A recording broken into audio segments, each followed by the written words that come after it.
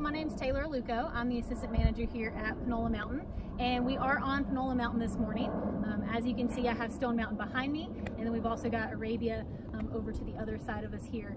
Um, so we are actually here, um, we don't have any yellow daisies blooming just yet. Um, here in the next few weeks we will have some. Um, we'll have a huge abundance of daisies on all three of these monadnocks. So during that time of year, we always do our triple hike, our Daisy Days triple hike, where you can actually hike all three monadnocks and look at all the beautiful yellow daisies that we have on our mountains.